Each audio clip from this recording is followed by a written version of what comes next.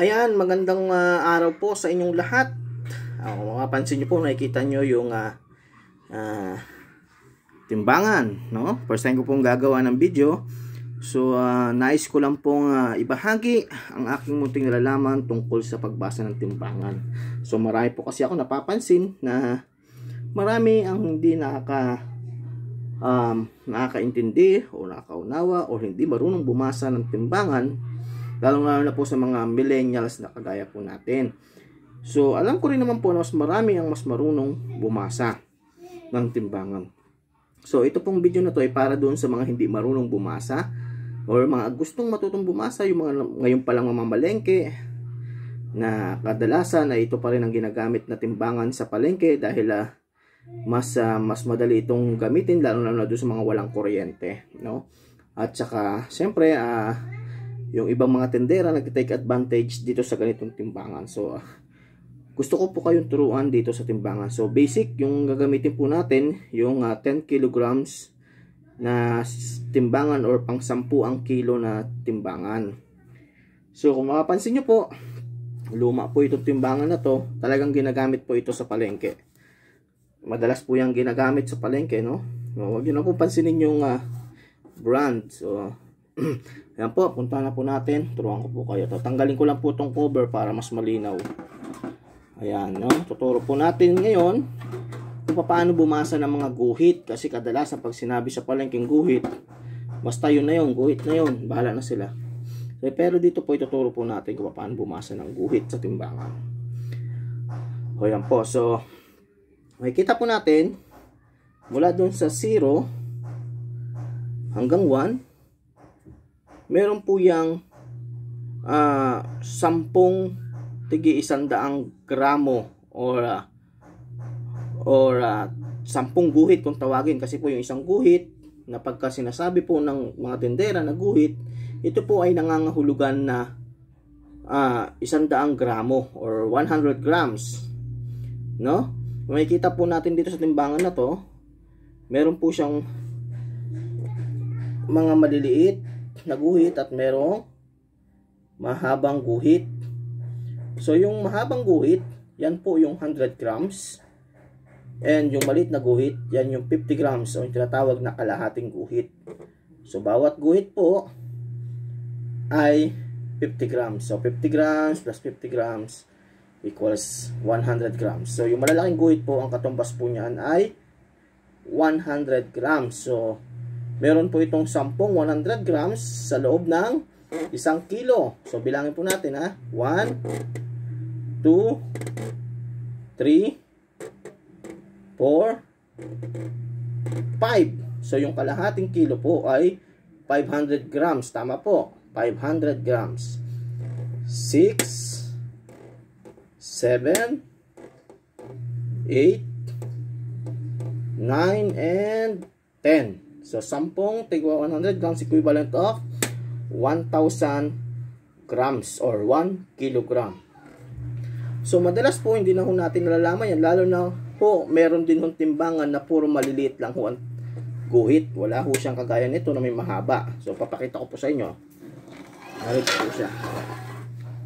So, ayan po, no? Ito pong brand ng timbangan na to, Fuji. Puro maliliit po siya. So, yung 100 grams po niyan, ay sa tuwing ikalawang guhit. Oh. Sa tuwing ikalawang guhit po. Yan. So makikita po ninyo, isa, dalawa, tatlo, apat, limang guhit sa 1 fourth. So nangangahulugan na 250 grams po yung 1 fourth, limang guhit. So 50 grams bawat guhit na maliliit yan. So yun po no, medyo medyo mahirap po siyang basahin. So, pero kung sanay ka na po, alam nyo na po yan.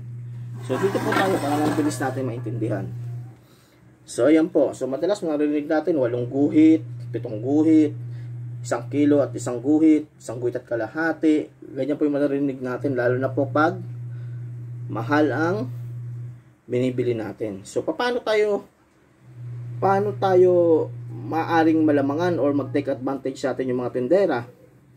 No, hindi ko naman kung sinasabing lahat ng tendera ay nagtitake advantage dyan. Pero madalas nagtitake advantage sila dyan, lalo na kung mahahalata nilang hindi marunong sa timbangan yung namimili. So, halimbawa, ang binili mo ay nagkakahalaga ng 300 isang kilo. No, 300 isang kilo yung ating pong binili. Halimbawa po. Ayan po. So, pag binasa po natin yan, no, yan po ay isang kilo at apat na guhit. Kung yan ay 300 isang kilo, ang isang kilo at kalahating, isang kilo at kalahating, isang kilo at kalahating, isa't kalahating kilo, rather, ayun, isa't kalahating kilo ay 450. So, 300 plus 150 yung kalahati, 450. Kaso, kulang po siya ng isang guhit doon sa kalahati. So, minus po natin ng magkano po ang isang guhit o yung 100 grams. Yan po ay nagkakahalaga ng ano po? Nagkakahalaga ng 30 pesos yung isang guhit. So, 450 minus 30 pesos is 420 lamang po yan. Pero madalas, ang sasabihin sa inyo kung hindi honest yung tindera, ang sasabihin sa inyo yan ay kulang na lang ng kalahating guhit para isa't kalahati. So, magkano lang ililes nila? 15 pesos. So, ang babay ang sisingilin nila sa iyo is uh, 435. 435. Tama, 435 less 15 pesos. Sa 450 less 15 pesos. So, nakalamang sila ng 15 pesos. Pasok na kaagad sa kanila yon. Pero kung marunong tayong bumasa, makikita natin na isang guhit yung nawawala, hindi lang kalahating guhit. Ayan. Nangyari po yan. O kaya minsan ganito po ang nangyari. Dagdagan natin. Ayan. Kaya Ayan. So, kung mapapansin po ninyo, mahina pa, mahina pa. Ayan. Kung mapapansin ninyo, yan ay isang kilo, isang kilo at ilan? Limat kalahating guhit or isang kilo at kalahati plus 500 1,550 grams no? So, nagkakahalaga yan, kung 300 ang kilo niyan, nagkakahalaga lang yan ng 465. Dahil sumobra lang po siya ng kalahating guhit. Pero minsan, ang sasabihin sa inyo, anim na guhit, isa't kala, isang kilo at anim na guhit ang sasabihin sa inyo niyan. So, sasabihin niya, 1,600 grams or isang kilo at anim na guhit.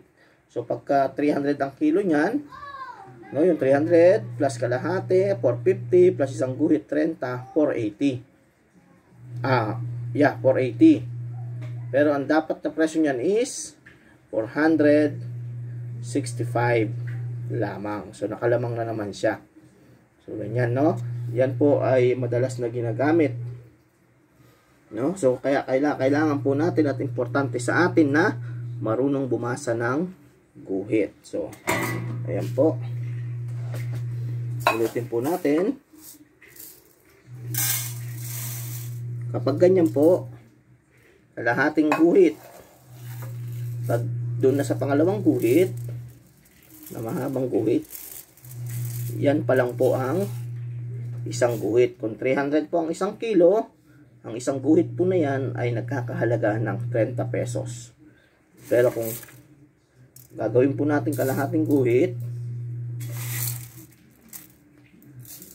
Kaya lang po gawin natin lahat ng buhay.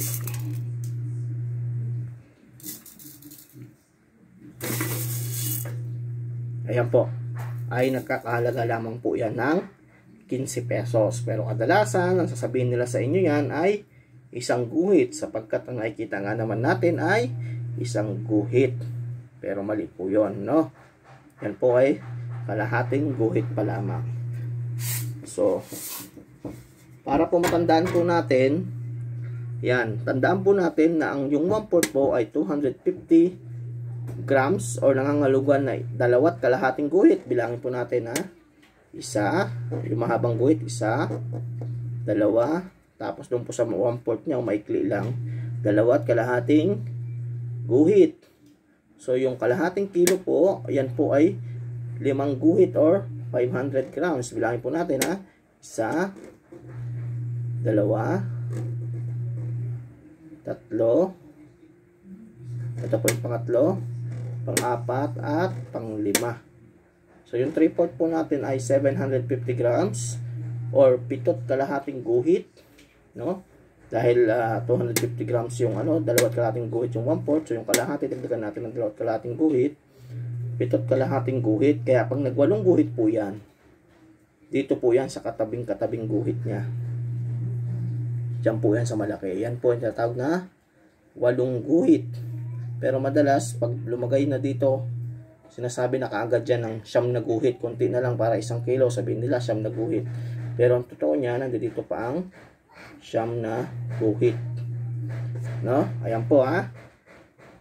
Sana po natuto kayo at nakatulong po sa atin yan lalo, lalo po sa mga baguhan pa lang na namimili.